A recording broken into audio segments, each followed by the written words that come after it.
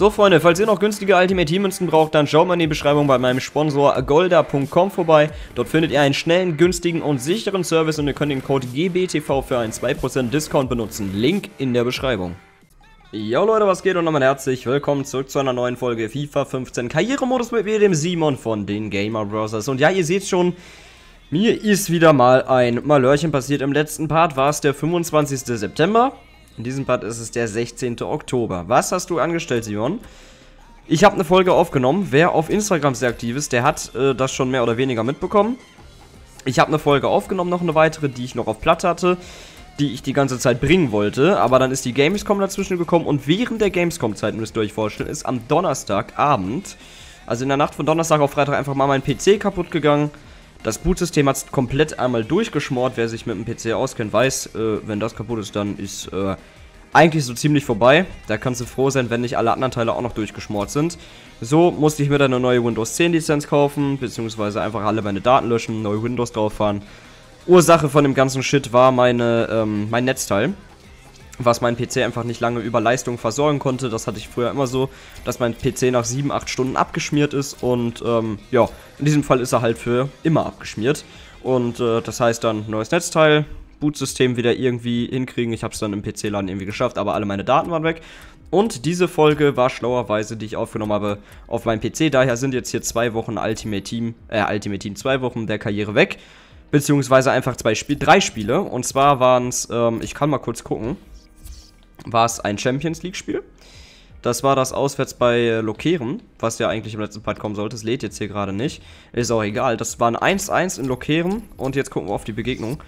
Ähm, es war ein 4-0 zu Hause gegen Hannover, das ich simuliert hatte. Und dafür müsste auch noch ein Spiel gewesen sein im September. Nee, das 2-1 in Dortmund hatten wir. 4-0 gegen Gladbach hatten wir auch. 2-0 Hamburg hatte ich noch gespielt. Und dann war es das schon. Gab es nicht mehr? 25.09. Nee, 0-2. Dann war es nur das Freiburg-Spiel. Also Freiburg 0-2 auswärts gewonnen, 4-0 Hannover zu Hause und 1 in Lokeren. Also drei Spiele habt ihr jetzt verpasst. Tut mir leid, so spektakulär war das Ganze aber auch nicht. Und jetzt machen wir einfach da weiter, wo wir auch sonst immer weitermachen. Und zwar Karriere, Auswärtsspiel bei Freiburg. Ich hoffe, euch ist das Gelaber jetzt hier gerade nicht auf den Sack gegangen, aber ich musste das ja mal kurz klarstellen. Ähm, die Aufstellung passt eigentlich. Ich würde es genau gerne so spielen. Nur, dass ich Piesinger irgendwie gerne dabei hätte. Und dann können wir es eigentlich auch so weit machen. Und dann würde ich sagen, sehen wir uns im Spiel. Let's go. So, und da sind wir auswärts bei FC Freiburg. Mensur Muiza, Innenverteidiger, Alter 32 Position, Verteidiger. Leiter der Partie ist Ansgar von Hauenstein aus Deutschland. Und ich habe schon wieder die äh, Dings übersprungen, die Anfangsanimation. Was man noch ganz cool sagen kann, in FIFA 16, ich hoffe, ihr habt das Ganze gesehen, wird es diese offiziellen Bundesliga-Animationen geben, was ich schon mal sehr, sehr nice finde. Das äh, werdet, werden wir dann in der nächsten Karriere dann sehen. Ich weiß nicht, ob ich es nächstes Jahr direkt wieder mit Bayern mache. Eigentlich hat es ja schon Tradition.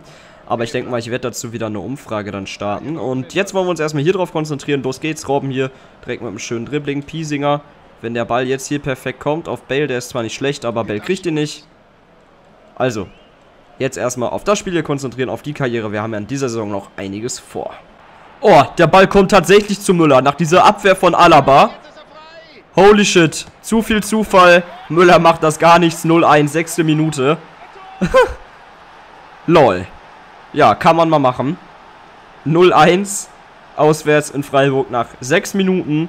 Nach dieser komischen Abwehr von Alaba, die dann Müller natürlich in die Karten spielt, der läuft ganz locker um den Torwart herum und dann steht es 0-1 nach 6,5 Minuten. Kann man mal machen, würde ich sagen. Freistoßchance für den SC, der mittlerweile in Real Life nach Hoffenheim abgewanderte Jonathan Schmid und Neuer. War es Latte oder war es eine überragende Parade von 0 Neuer? Eigentlich egal. Denn der Ball ist zum Glück nicht drin. Aber was eine Parade von Manuel Neuer. Und die Freiburger, sie lassen nicht locker. Ball ist immer noch nicht geklärt. Neuer jetzt draußen. Was eine Parade vom Welttorhüter. so, Bale über die linke Seite. Dampf machen. Dafür ist er bekannt. Bale löst sich hier. Flanke kommt rein. Müller und 0-2. 17. Minute. Auch bei Thomas Müller läuft es endlich wieder. Thomas Müller schnürt hier den Doppelpack nach 17 Minuten. Wunderbare Vorlage von Gareth Bale. Und der Müller, der Müller hat ihn wieder rein. 0-2.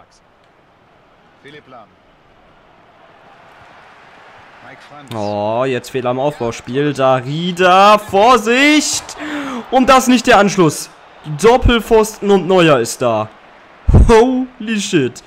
Also das hätte das 1-2 sein müssen. Lahm jetzt hier wieder mit dem Fehler, aber Robben ist da. Oh, Martinez setzt nach, aber Freiburg. Jetzt hier mit einem leichten Übergewicht in den letzten Minuten mit mehr Chancen. Und das gerade wäre fast belohnt worden mit dem Tor. Also das war echt sehr, sehr lucky. Und Slimani. Und da ist es passiert, das 1-2. Nicht unverdient, muss man ganz klar sagen. Muss man klar sagen. Ich glaube, es war Kerk und er spielt ihn dann nochmal weiter auf Slimani. Schöner Doppelpass. Ja, und dann legt er den an Neuer vorbei. Der kriegt ihn sogar fast noch. Slimani mit seinem vierten Saisontor. Neuer kann wirklich wenig machen. Und dann auf 45. Minute, das ist äh, nicht verkehrt der Zeitpunkt. Also da werden die Freiburger bestimmt mit einer Menge Selbstvertrauen jetzt aus der Halbzeit kommen. Das ist nicht ganz ungefährlich. Und das war kein Abseits. Und da ist das 2-2. Was ein Riesenfehler im Aufbauspiel von Alaba. Und dann war es kein Abseits, weil Boateng es auflöst. Neuer ist sogar noch dran. Und Slimani schnürt den Doppelpack. 48. Minute, die Freiburger mit dem Ausgleich. Und dann so ein Ball von Martinez. Oh, oh, oh, Freunde. Das sieht gar nicht gut aus. Und Robben mit so einem explosiven Antritt. Robben, das ist super von Robben. Und da ist er drin, Arjen Robben. Es ist wirklich, wenn es nicht funktioniert, dann spiel den Ball zu Arjen Robben. 3 zu 2. 70. Minute. Der Typ ist ja der Wahnsinn. Der Typ ist ja der Wahnsinn. Wird hier gehalten, hätte wahrscheinlich sogar eh den Elfmeter gegeben. Und dann schießt er den völlig platziert rein, durch die Beine. 3 zu 2, Arjen Robben, fünftes Saisontor. Der spielt schon wieder so eine kranke Saison. Und da haben wir das Spiel wieder in unserer Hand. Und es gibt Elfmeter. Wofür? Wofür? Lol, warum? Hummels war's. Ich hab's nicht gesehen. Ich hab, ich, ich weiß nicht wieso. Holy shit, ja. Costa kommt für Robben. Und es gibt einfach, ich hab's nicht gesehen. Ich wollte ihn da am Flügel angreifen. Es muss irgendwas in der Mitte passiert sein. Ich habe auf Tackeln gedrückt. Wahrscheinlich habe ich irgendeinen berührt. Jetzt muss ich aber erstmal den Elfer halten. Slimani könnte einen Dreierpack machen. Aber wir haben Neuer am Tor. Der ist ein Elferkiller. Komm schon, Neuer. Neuer. No. Latte. Nee, drin. Slimani eiskalt. Lupft den unter die Latte. Slimani ist ein kalter Hund. Drin ist er. 3-3. Sechstes Saisontor für Slimani. Und damit steht's 3 zu 3 hier. Die Freiburger kriegen sogar nochmal einen Freistoß. Hoffentlich wird der nicht gefällt. Es ist unglaublich. 90. Minute, 4-3 für die Freiburger. Und der Wahnsinn nimmt ein Ende. Enli Nguyen, keine Ahnung wer das ist. 4-3, 90. Ich, ich muss es gerade mit Humor überspielen. Was ist hier gerade los? Ja, Diego ach, äh, Douglas Costa, das war brotlos. Martinez pfeift da ab. 4-3 für Freiburg gegen Bayern. Und damit haben wir das erste Spiel dieser Folge schon mal extremst verkackt. 4-3 verloren. Also, ne. Wow, das war schlecht. So, nachdem wir das erste Spiel dieser Episode wirklich hart verkackt haben, muss es jetzt in der Champions League weitergehen. Zwei Spiele, zwei Punkte. Ich habe es ja gesagt, das Sportlokieren-Spiel habt ihr nicht gesehen. Das ist 1-1 ausgegangen. Valencia Tabellenführer, die können wir mit einem Sieg locker vom Thron stoßen. Und das ist auch so mehr oder weniger unser Ziel. Ich werde, denke ich mal, heute auf eine andere Ausstellung zurückgreifen. Das schauen wir uns dann gleich an. So Leute, ihr kennt's. Wenn es bei mir nicht läuft, muss eine neue Formation her. Und die heutige ist ein ja, Stück offensiver, würde ich sagen eine 4-1-3-2. Das heißt, wir haben drei offensive Mittelfeldspieler und noch zwei Stürmer. Heute also mal Lewandowski und Müller vorne drin. Ich bin mal echt gespannt, wie das wird. Zu Hause gegen Valencia. Wünscht mir viel Glück, Freunde. Wir sehen uns im Spiel gegen Valencia. Es muss wieder ein Sieg her und ich bin mal gespannt. Ansonsten noch Erinnerung, Alonso mal wieder auf A6 und Costa und Draxler. Heute für Bale und die Maria. Wir sehen uns im Spiel, Jungs. So, und das sind wir. Zu Hause in der Allianz Arena in der Champions League. Gegen Valencia. Es steht uns ein hartes Stück Arbeit hier bevor gegen den Gegner aus Spanien, der momentan diese Gruppe hier, ich glaube die Gruppe C ist es, anführt. Mit vier Punkten, ein Sieg, ein Unentschieden. Wir bis jetzt mit zweimal einem 1-1, daher zwei Unentschieden. Porto auch mit zwei Unentschieden und Blockeren mit einer Niederlage, die dann wahrscheinlich gegen Porto war. Sonst würde es gar keinen Sinn machen. Und auch einem Unentschieden gegen uns. Die Mannschaft heute mit Robben, Costa, Draxler, wirklich mit vielen, auch jungen Spielern auf dem Feld. Das muss man auch ganz klar sagen. Alt sind halt wirklich nur Alonso und äh, Robben und halt lahm. Also sind halt drei Spieler. Oh, Lewandowski mit einem schweren Fehler. Feguli. Oh, Hummels grätscht vorbei. Boateng.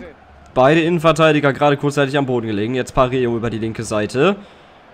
Die machen das hier nicht ungefährlich. Die Spanier. War das ein Foul? Ne, war es nicht. Alaba, raus die Kugel. Erstmal durchatmen. So, lahm auf Robben. Jetzt mal ein bisschen Platz. Robben. Lässt hier Gaia stehen. Robin, der Ball kommt im perfekten Moment für Müller und Ulreich ist da. Richtig schöne Kombination über die rechte Seite. Aber Ulreich kann dann wirklich hier Schlimmeres verhindern. Gute Parade. Costa, ich glaube, der war nicht im Abseits. Okay, dann kommt die Flanke auf Müller. Nicht ungefährlich. Alonso hat jetzt den Ball, legt ihn ab für Draxler und wieder ist Ulreich da. Also, jetzt mal hier zwei große Chancen gehabt in wirklich kurzer Abfolge. Oh, was ein Fehler. Costa dann mit der Hacke. Müller kommt da nicht hin. Also wie Costa da den Ball geholt hat, das war echt stark. Aber jetzt Valencia nicht mit dem Konter. Alonso richtig stark. Neuer ist draußen und das war keine gute Idee. Und Latte. Oh shit. Nochmal die Möglichkeit. Boateng ist da. Also das war wirklich keine gute Idee von Neuer. Und dann war es wirklich um Schamhaaresbreite. Es steht 0 zu 0. Also wir hatten hier wirklich ein Chancenübergewicht. Aber dann die von Valencia war natürlich jetzt hier gerade sehr, sehr gefährlich. Wir sehen uns in Halbzeit 2. Müller holt ihn. Lewandowski. Was ein Tor. Was ein Tor von Lewandowski. 1 zu 0, 50. Minute und da ist er doch endlich wieder. Der Pole auch mit seinen Problemen. Aber dieses Doppelstürmerblatt, das funktioniert. Müller legt ihn hier mit dem Kopf vor und Lewandowski dann völlig humorlos. Ich weiß nicht, ob es komplett der Winkel war. Ja? Ja, doch. Das sah schon sehr schön nach Winkel aus. Super Tor. Erstes Tor für Robert Lewandowski in der Champions League in dieser Saison. Müller legt in Form. Das hat wirklich super funktioniert. 50. Minute. 1 zu 0. Das geht doch. Draxler jetzt mal hier über links. Zieht in die Mitte. Draxler und was ein Tor! Julian Draxler und genau das braucht er. Genau das braucht er für sein Selbstbewusstsein. Wenn er mal spielt, dann muss er solche Aktionen bringen. Genau dafür haben wir ihn. Als Backup, der macht hier ein wunderbares Tor, zieht über die linke Seite nach innen und was ein Schlenzer. Der passt perfekt, Innenpfosten und dann rein Ulreich ohne jede Chance. Da kann er sich noch so lang machen, den kann er nicht kriegen. Den kann er nicht kriegen. Draxler natürlich vor dem Tor auch viel los. Also der war wirklich, wie soll er den alten Super Tor von Julian Draxler, da passt alles, da passt wirklich alles und dann steht's hier 2 zu 0, es läuft.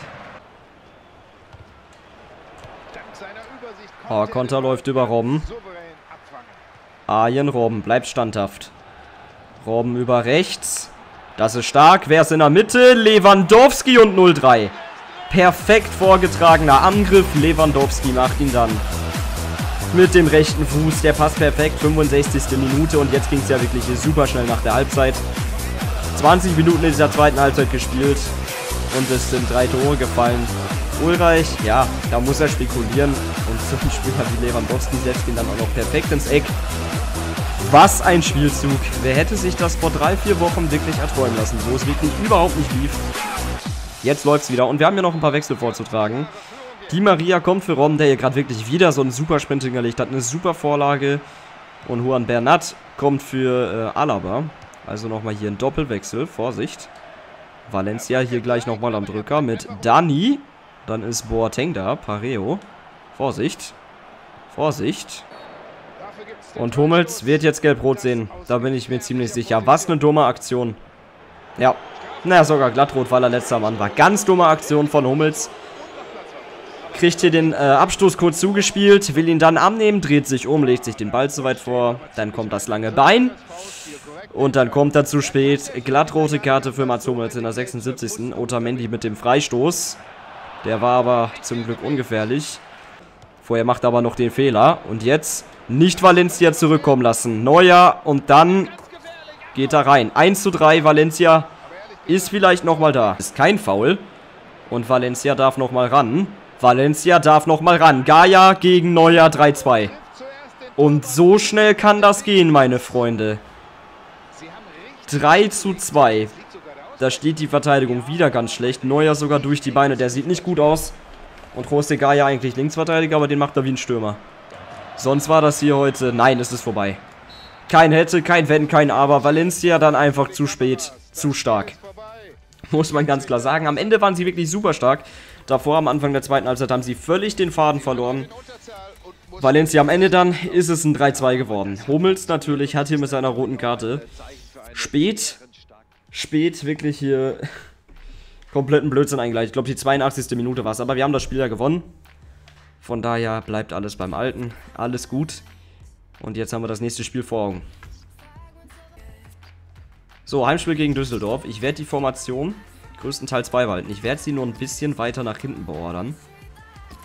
Die Spieler, die stehen mir doch ein bisschen zu offensiv. Das ist mir auch dann im letzten Spiel tatsächlich aufgefallen. So, das müsst ihr euch jetzt nicht angucken. Also, gleiche Formation, nur ein bisschen weiter nach hinten. Wir sehen uns gleich im Spiel gegen... So, Heimspiel gegen die Fortuna, was wir simulieren werden. Die haben vorher zweimal unentschieden gespielt, 1-1 gegen die Hertha, gegen die alte Dame und gegen die Eintracht aus Frankfurt. Vorher 1-0 gegen Schalke verloren, 11. Minute Lewandowski mit dem 1-0, Alaba vorher mit Gelb. Es sind 30 Minuten gespielt und Lewandowski schnürt den Doppelpack. Also in dieser Formation scheint er wirklich aufzugehen. Muss man mal ganz klar sagen, Martinez kommt für Alonso. Ansonsten Hummels darf ja heute noch spielen. Die rote kam ja in der Champions League. Bart Stuber ist drin, macht das 3-0. Ansonsten kommt noch Bale für Robben, Martinez mit dem 4-0. Und dann haben wir unser sehr deutliches Ergebnis hier gegen den Aufsteiger aus Düsseldorf. Und die zweite deutsche Pokalrunde steht an. Die werden wir uns dann im nächsten Part angucken. Gegen Dortmund. Bis dahin sage ich wie immer, ciao Leute, bis zum nächsten Mal. Haut rein. Einmal kurz ähm, Nachrichten lesen. Irgendwas ist mit Alaba, irgendwas mit der Presse. Okay. Kümmern wir uns drum. Gündogan ist einsatzbereit und Douglas Costa bedankt sich, dass er in letzter Zeit so viel spielen durfte. Also, wir sehen uns beim nächsten Mal. Haut rein und tschüssi.